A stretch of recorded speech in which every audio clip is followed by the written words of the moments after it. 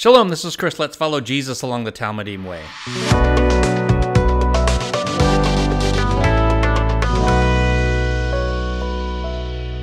Acts 26, we're coming down to the wire. This will be Paul before King Agrippa. Father, we ask you to bless our study and have us be like the Bereans, who receive the word with all eagerness, but examine the scriptures daily to see whether these things be so. And by this teaching, please enable each of us to be doers of your word and not hearers only. We ask these things in Jesus' name. Amen. And Paul's going to touch on being a doer and not just a hearer later in this chapter. Chapter 26, verse 1 Now Agrippa said to Paul, You are permitted to speak for yourself. Then Paul extended his hand and proceeded to make his defense. So again, this is Agrippa the second, the son of Agrippa the first, who murdered James and imprisoned Paul. We read about that back in Acts chapter 12. Um, Antipas and Herod Philip of Jesus' ministry were his great uncles, and Herod the Great, who was around when Jesus was born, was uh, Agrippa II's great grandfather. So a little bit of a lineage here, royalty, but uh, some debauchery also. Some commentators believe that Paul is snubbing Bernice or Bernike by not addressing her. He addresses only uh, Agrippa in in this uh, opening. This does seem unlikely, though. the The protocol excluded women from official proceedings, so Paul most likely meant no disrespect. He'll say later in verse 29 of, of this chapter, I wish to God that uh, not only you, but all who hear me would become a, a believer except for these chains. So the all who hear him would definitely include Bernice. Extending his hand here shows his audience that he was well educated and trained in classical oratory and rhetoric. It's just something they did uh, to kind of open their speech.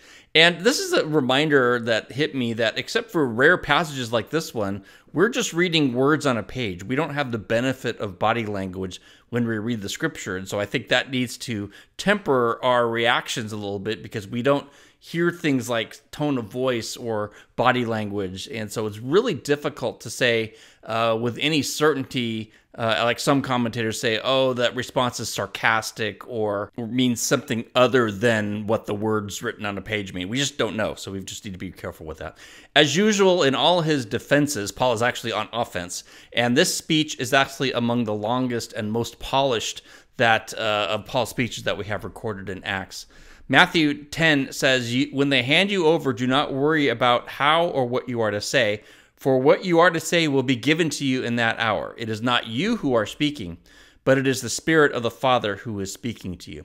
Now, this verse is often applied to witnessing, and it may be true that you know, if we're nervous about talking to someone and sharing, that the Spirit may help us. But we just need to realize that's not the direct context of this passage. This passage is directly when you're called to give an account uh, by some authority. And for Paul specifically, we have Acts 9 15. The Lord said to him, Go, for he is a chosen instrument of mine to bear my name before the Gentiles and the kings and sons of Israel. So remember when uh, Ananias of Damascus was a little bit nervous about welcoming Paul in, uh, the this this you know the Lord gave him assurance that he's on my side now. I've I've uh, I've had a little meeting with him and we have an understanding.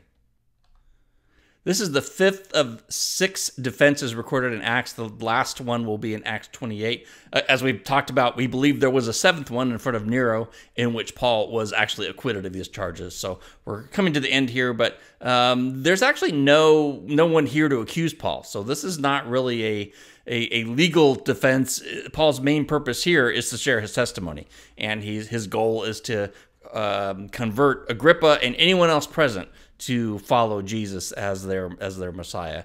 And so what follows here is considered Paul's greatest speech anywhere in Scripture. So it's a take time to read it uh, just straight through and soak it in.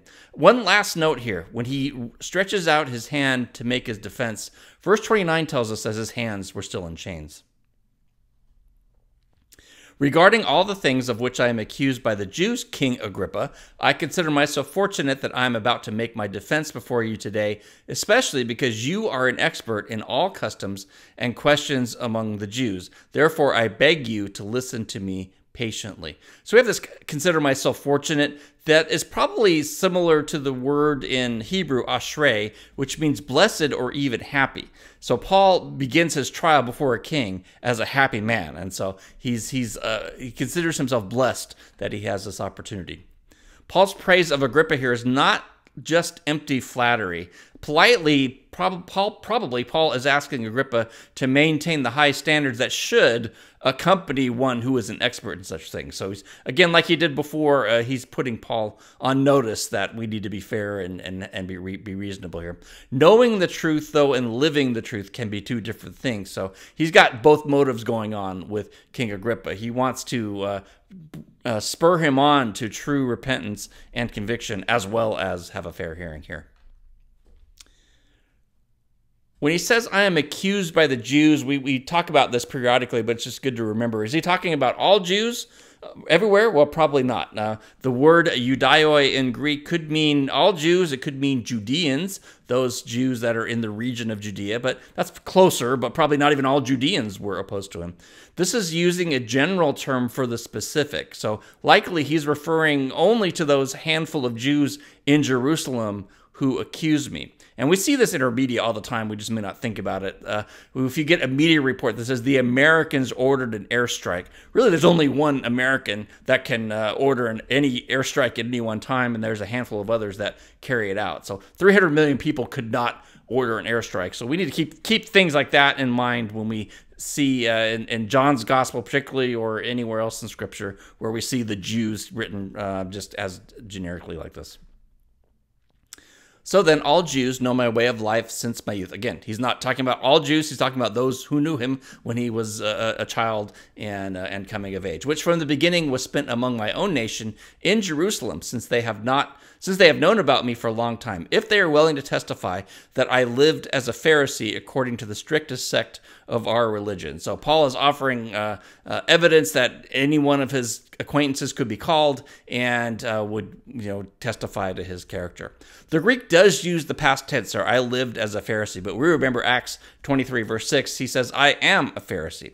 So basically, he's saying, as in that day, just like we would say, I, I was a good child or I was not a good child, we would say that uh, in, in the past tense, anyone who knew him could testify that Paul was always and consistently a faithful Jew here.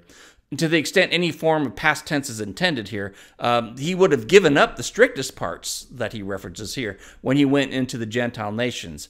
So that required him to fellowship with God fearing Gentiles, those who follow the God of Israel but uh, didn't uh, necessarily convert to Judaism. And this is something that the Torah did not forbid, but the code of the sect of the Pharisees absolutely did forbid. And so that's maybe where he broke with being a Pharisee, but that doesn't mean he broke with being a Jew. Lancaster writes Paul did not hesitate to eat with God fearing Gentiles, even when other Jewish believers did hesitate. Agrippa II here would have known the Pharisees sect very well, though uh, literally by blood and as well as by party affiliation, he was not a Pharisee, but he was a Herodian. And they tended to align more with the Sadducees. But we're going to see here that uh, Agrippa is persuaded at the end, just to cut to the chase, uh, he does not believe the charges of the Sadducees um, that have any bearing against Paul. And now I am standing trial, Paul continues, for the hope of the promise made by God to our fathers, the promise to which our 12 tribes hope to attain as they earnestly serve God night and day. For this hope, O king, I am being accused by Jews. So, hope of the promise made by God to our fathers, he's referring to all of the messianic promises that start back in Genesis chapter 3, verse 15, where you have the seed of the woman, um, and then going on through the, the Torah and the prophets, Isaiah 7, Daniel 7, Micah 5, all the way to the Old Testament have prophesied about the coming of a Messiah, and Paul is now saying these promises have been fulfilled by Jesus. He's saying he's on trial by Sadducees merely for holding doc, uh, doctrines that are common to many mainstream Jews, including Pharisees. So this is sort of a, a, trap here that he's put in, and it's not fair at all. Uh, what I believe is no different than what thousands, uh, hundreds of thousands of other people believe. The 12 tribes here were represented by a stone on the breastplate of the high priest. And so you see a representative of that uh, at, at, a model that's in the south of Israel. There's a common thought that the 10 northern tribes were lost and so you only have two, uh, uh, basically Judah and Levi, that are preserved, but the other 10 are lost. Um, it's actually not true. Faithful representatives from the northern tribes migrated south during the, the northern kingdom apostasy and the resulting conquest by Assyria. So they, they got out of Dodge and they headed towards Jerusalem. We know this by the birth narrative in Luke. There was a prophetess Anna of the tribe of Asher. And so Asher would be one of those 12 10 lost tribes, but according to Luke, uh, Asher knew exactly, uh, Phanuel, sorry, Anna knew exactly where she was, and she was of the tribe of Asher. Now, it's true that after the destruction of the temple, uh, most believe that almost all genealogical records would have been lost, and therefore, full blooded Jews today would have practically no way of definitively identifying which of the 12 tribes they came from. So all that kind of stopped uh, at, at the the close of the uh, destruction of the temple, and, and that leads you know many evidence to the Messiah had to come before 70 AD. Uh, we do have modern surnames such as Cohen, Cohn, Khan, Levin. Uh, all of those might suggest a descendant from the tribe of Levi. Cohen means priest in Hebrew, and of course Levin is related to Levi. We don't know, but that's just you know a speculation. Paul continues, "Who why is it considered incredible among you or among you people if God raises the dead. This is a picture of the uh, the ceiling of the Church of the Holy Sepulchre in Jerusalem. It's just a beautiful structure built over the traditional locations of the the tomb and the resurrection, and it's called the edicule. It's a, a structure that's uh, on the on the bottom represents uh, what remains of the tomb here. You people sounds like it would be demeaning in English, but that's not at all how Paul meant it. Uh, the word people was actually not even in the original. Uh, all Paul is doing here is saying he says you in the second person plural. So he turns from addressing Agrippa directly and he speaks to all present. Um, the resurrection is the great hope of the Jewish people. And if it's acceptable to believe that God will raise the dead, then it should be acceptable to believe that at least Paul and his followers uh, would say that God raised Jesus of Nazareth. And even if the opposition didn't believe in Jesus, Paul's belief in the resurrection was mainstream Judaism. There's nothing wrong with it. Luke is likely editing for space here, and so writing in that day was very expensive. Paul probably went on for some time with his testimony, and uh, Luke just kind of truncates that. And here he's transitioning from his early life into the phase of his life where he zealously persecuted the believers, and his goal was to get them to renounce their faith in Jesus. So fast forward to uh, to the resurrection and Pentecost, and we have Paul, you know, at, at this time. So I thought to myself, I had to act in strong opposition to the name of Jesus of Nazareth. And this is just what I did in Jerusalem. Not only did I lock up many of the saints in prison after receiving authority from the chief priests, I also cast my vote against them when they were being put to death. As, as I and as I punished them often in the synagogues, I tried to force them to blaspheme. Since I was extremely enraged at them, I kept pursuing them even to foreign cities. And when he says blaspheme here, he means them to get to speak against their faith in Jesus um, basically his position is he already viewed them as blasphemers against Israel's God. So that's not what he was trying to get them to blaspheme. Uh, he's basically trying to get them to repent back to uh, his way of thinking. Cast My Vote leads to some speculation in the commentaries. Some believe that Paul was once a member of the Sanhedrin. It literally means to cast a stone, and that's how they voted in that day. Uh, but he could just be merely saying he agreed with their action. You know, I, I threw my lot in with, with them.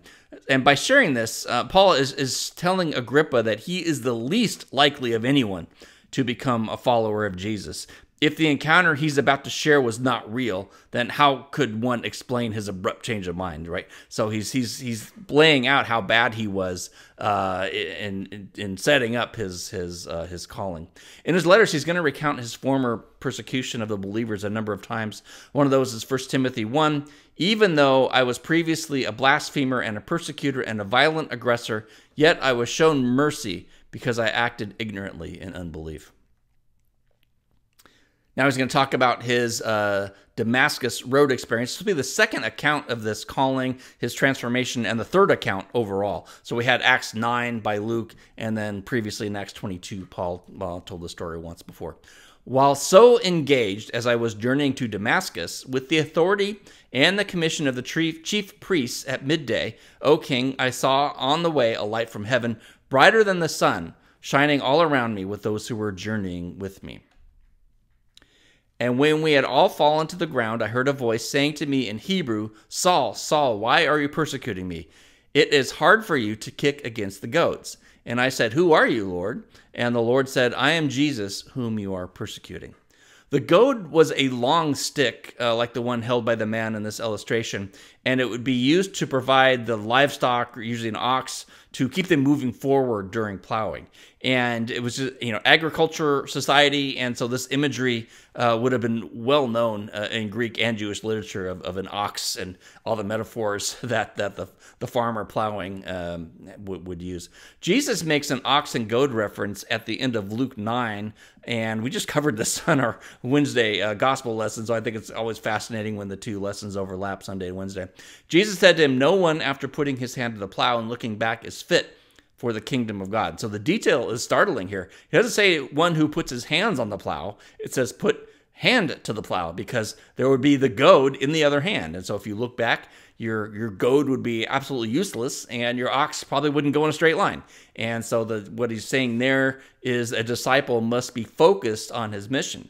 Now here he uses almost the same illustration, but he reverses it. Instead of talking about the farmer, he says Paul is like an ox offering up useless resistance. And you know the the farmer is going to use the goad whether the ox likes it or not. So basically, uh, you know, kind of what are you doing here? Let's let's be smart about this. Paul actually should have listened to his old teacher Gamaliel. Um, who we read in Acts 5. And so, this is Gamaliel speaking to the council. I say to you, stay away from these men, meaning stay away from these believers. Leave them alone. For if the source of this plan or movement is men, it will be overthrown and it will come to nothing. But if the source is God, you will not be able to overthrow them, or you may else be even found fighting against God. And so Gamaliel's words here turned out to be prophetic. Uh, by kicking the goads, uh, Paul was fighting against God, uh, you know, figuratively and, and maybe literally too. Um, but get up and stand on your feet. For this purpose I have appeared to you, to appoint you as a servant and a witness, not only to the things which you have seen me, but also to the things in which I will appear to you. So this is very much sounding like a uh, an Old Testament style calling of a prophet. Um, whereas usually he just says he was told to get up. Here he clarifies it was get up and stand on your feet just like in Ezekiel 2 Son of man, stand on your feet, and I will speak with you. And this is commissioning Ezekiel. And in the same way, Paul is being commissioned by, by uh, the Lord here. Rescuing you from the Jewish people and from the Gentiles whom I send to you. And we have this in Acts 22. Uh, he said to me, Go, I'm sending you far away from the Gentiles. So again, he's, he's undeniably here recounting a prophetic calling that would fit right in with the Old Testament prophets. We looked at Ezekiel last time. How about Jeremiah? The Lord said to me, Do not say, I am a youth, because everywhere I send you, you shall go. So, commissioning as a sent one here. And all that I command you shall speak. Do not be afraid of them, for I am with you to save you, declares the Lord. So, does the Lord change his methods? You know, maybe a little bit, but overall, not really. When he calls someone, uh, he calls us all to be bold and do not fear. Do not fear those who will be against us, because he who is with us uh, is much greater than those who are against us. Jesus is continuing talking to Paul here to open their eyes that they may turn from darkness to light and from the power of Satan to God, that they may receive forgiveness of sins and an inheritance among those who have been sanctified by faith in me. Unbelievers are in spiritual blindness and uh, spiritual darkness. So the Bible often uses these themes of light and eyesight as a picture of salvation and blindness and darkness as a picture of being lost. Isaiah does this all the time. 42 7, um, chapter 61, verse 1, which Jesus read at the synagogue in Nazareth, open the eyes of the blind, set the captives free.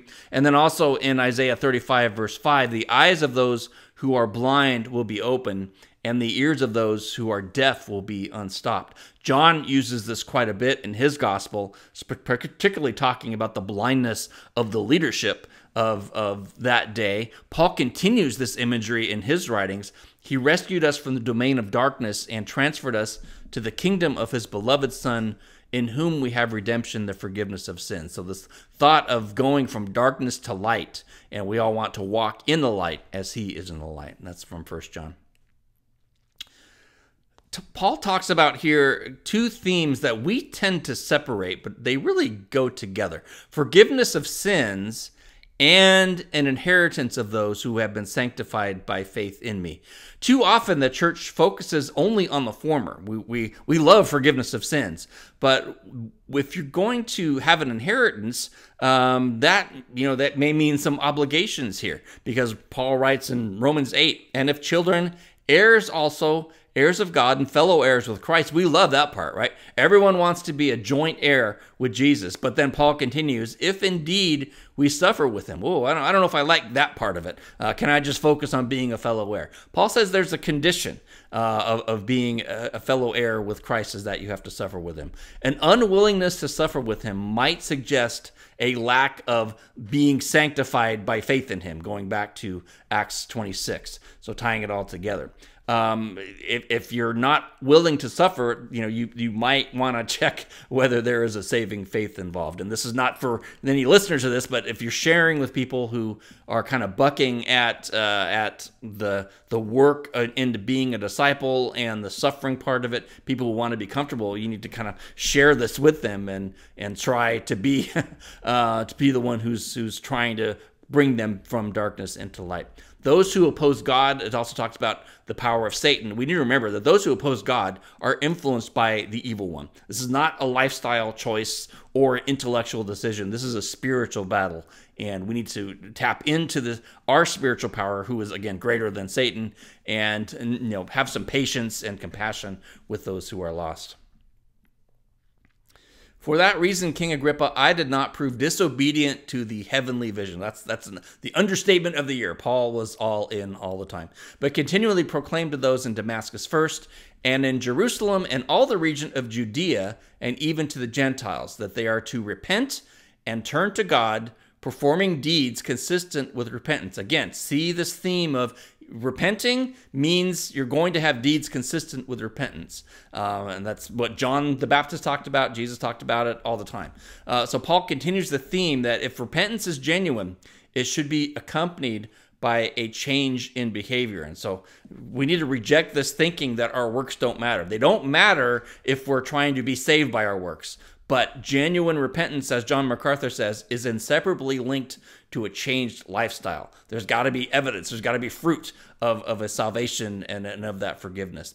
Paul cautioned against the works of the law as a component of conversion, as a requirement to become Jewish. But Paul was not at all a purveyor of cheap grace. Uh, deeds consistent with repentance have to go hand in hand. Now, Paul's going to continue. The Jewish leaders are actually not repentant. For these reasons, some Jews seized me in the temple and tried to murder me. So, Paul is saying he's being persecuted for following Jesus' command to spread the gospel. He was told what to do by God, he was doing it. Uh, he's just being faithful, and yet here he is in trouble. So, having obtained help from God, I stand to this day testifying both to the small and great, stating nothing but what the prophets and Moses said was going to take place as to whether Christ was to suffer, and whether, as first from the resurrection of the dead, he would proclaim light both to the Jewish people and to the Gentiles. Verse 22 is Paul's core argument here. I am stating nothing except what the prophet and Moses said was going to take place. And we see this connection that he has with the prophets. Paul's teachings didn't contradict Torah, they didn't contradict Judaism. His teachings emerged from both of those, from the Torah and from Judaism. Isaiah 49 6 Is it too small a thing that you should be my servant to raise up the tribes of Jacob? There's the nation Israel, to restore the protected ones of Israel. I will also make you a light to the nations so that my salvation may reach the ends of the earth. So when the Jews of that day thought that Gentiles were beyond reaching, uh, they haven't read Isaiah very closely. Uh, Isaiah 2 The Torah will go out from Zion and the word of the Lord from Jerusalem. So Jerusalem is, is the center, and just like Acts 1 8, Jerusalem, Judea, Samaria, and then the ends of the earth. So God's plan includes Jews as well as Gentiles. We need to remember that today. In Paul's day, they were surprised that his plan included Gentiles. Today, I think we're surprised that his plan includes Jews. And the the numbers and the reports of, of messianic believers coming to faith just you know they have to keep it quiet in some respects, but um, it's just continuing to grow. And there's lots. God is doing a major work among the Jewish people uh, coming to faith in, in Jesus, their Messiah. Paul here is presenting proof of several things, and he's laying them out in logical order here. Jesus suffered and died, first of all. He was the chief of the resurrection, so he rose from the dead himself. And the reason he did that was to bring light to those who are in spiritual darkness. Further, by the power of his resurrection, he's providing proof that his words are true and that the resurrection of all saints will happen too. So when Paul's preaching about, look, mainstream Judaism teaches the resurrection, uh, that is all part of what I'm teaching also. Further, and very importantly, Paul is saying these teachings do not go beyond what was already spoken in the Hebrew Bible. So he mentions Moses and the prophets. Um, all of all of this has its foundation in the Old Testament. While Paul was stating these things in his defense, Festus, remember Festus isn't Jewish, he's, he's Roman, pagan, said in a loud voice, Paul, you are out of your mind. Your great learning is driving you insane. This is a picture of Dionysus, uh, who in Greek mythology was the god of ritual madness, wine, ecstasy, and theater. So Festus may have had this god in mind when he accused Paul of being out of his mind. Um, you see a combination here wild and bizarre images uh, it's thought to portray Dionysus as a child on a tiger holding a cup of wine, just kind of craziness. Uh, the Romans knew the same god by the name Bacchus, so this this kind of we tend to think of that as frivolity, but there's also a sense of being out of touch with reality um, if you're following this god. Remember, Festus, not a Jew, was a pagan, and I, I, believe, you know, most of the commentators say he was just astonished that anyone could possibly believe that the dead would live again. That's just crazy. Um, this interpretation is is interesting, uh, given that Paul was discussing Jewish matters. So it's kind of like this doesn't concern you. Uh, Festus had a right to interrupt, but the interruption is, is a little bit odd here. The emotion behind his response, though, possibly indicates maybe he was understanding more than he wanted to, and you know he was he was putting up a defensive mechanism here. Festus may not know, but Agrippa should. So um, Paul continues I am not insane, most excellent Festus. On the contrary, I am speaking out with truthful and rational words. For the king, so he turns back to Agrippa, knows about these matters, and I also speak to him with confidence, since I am persuaded that none of these things has escaped his notice. For this has not been done in a corner, has not been done silently. That Jesus rose from the dead, which some believed and others did not was common knowledge among Jews in that region, so this was not a surprise to Festus. King Agrippa, do you believe the prophets? I know that you believe. And so Paul here is putting Agrippa in check, just like Jesus did. If you remember the time where he asked the chief priests and the Sadducees about John's baptism, this is in Luke 20. Was the baptism of John from heaven or from men? And this is one of the uh, Jesus's checkmate moves here. They discussed among themselves, saying, If we say from heaven, he will say, Why did you not believe him? But if we say from men, all the people will stone us to death, since they are convinced that John was a prophet. And so they answered, They did not know where it came from. If Agrippa had affirmed his belief in the prophets, then he would have had to admit that the prophets taught about the Messiah's death and resurrection. And so to affirm this would have made him look foolish in front of the Romans. To deny it, you know, would have been an outrage to the Jews, and he would have been considered an apostate. So Paul, Paul really backed him into a corner. But Agrippa is is very slick. He replied to Paul, "In a short time, are you going to persuade me to make a Christian of myself?" Some versions have it as a question. The NASB has it as a statement. In a short time, you are going to persuade to persuade me to make a Christian of myself. And remember what I said earlier. We don't have the benefit of body language. We don't know his tone. Um, the ASV on this side has it. A slide has it as a question. Um, we don't know whether he was being scoffing or sarcastic.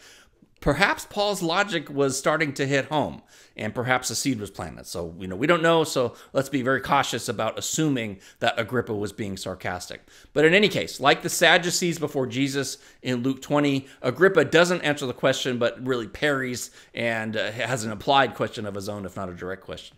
He uses the term Christian here, and this is interesting.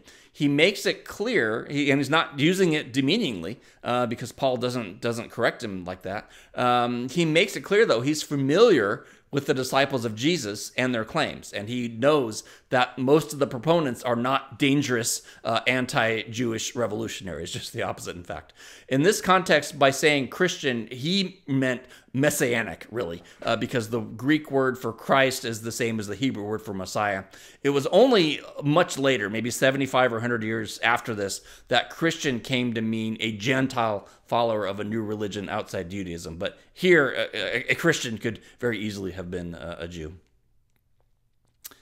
Paul said, I would wish to God that in even in a short or long time, not only you, but all who hear me this day would become such as I am, except for these chains. So Paul is not ashamed to tell governors and kings they need to receive the saving redemption of Jesus. And for a lot of reasons, uh, maybe uh, uh, Agrippa was being uh, conflicted here. In any case, he had heard enough and he calls an end to the proceedings. The king stood up, and the governor and Bernice and those who were with uh, sitting with them, and when he had gone out, they began talking to one another, saying, This man is not doing anything deserving of death or imprisonment. So they adjourn the proceedings, then they meet privately with, with what their you know, deliberation is going to be. Both agreed that there's just no case here. Not only is Paul not guilty before Roman law, and that's the only law that really mattered here, but for good measure, Agrippa is saying Paul isn't even offensive to Agrippa's even more liberal brand of Judaism. He's he's doing fine there too. Uh, Agrippa's opinion here would have definitely been included in Festus's documentation for this case being sent to Rome. Agrippa said to Festus, This man could have been set free if he had not appealed to Caesar. Just as Festus declared Paul innocent of breaking Roman law, Agrippa again declares him innocent of breaking Jewish law or the Torah law. And you have to wonder why generation of Christian commentators come to the conclusion that Paul came to do away with Judaism. Because right here, Paul says he doesn't, and the, the king of, uh, of the region says he didn't. So you know, kind of, oh, what's the truth there? I think I think I'll stick with Paul's words rather than uh, the words of a commentator. The accused here deserved to be released with the court's deepest apologies. However, Paul had already set the appeal in motion, and some would say the matter was actually out of Festus's hands. Um, the basically the trial had ended, and uh, you know proceedings were already in place to send Paul to Rome. This was just a courtesy hearing for King Agrippa. Keener, though, suggests it was in Festus's legal authority to set Paul free. But really, politically, he was none too happy to extract himself from a difficult political situation. So, again, just like Pilate, just like Felix, uh, Festus knows the right thing to do, but doesn't do it. And so in chapter 27, we'll set sail again with Paul on his adventures on the way to Rome. And so join us next time for chapter 27 along the Talmidim Way.